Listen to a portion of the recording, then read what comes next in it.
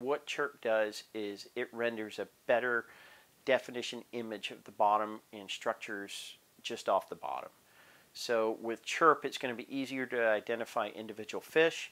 It's going to be easier to identify fish just on the just off the surface of the bottom. Uh, without chirp it might not read that as a fish, it might read it as part of the bottom. If you had a bunch of fish close together like you do in here, if you didn't have chirp it might read it just as a large blob rather than individual fish. Okay, let's start with the bottom image. Now you see we got a really thick red line here.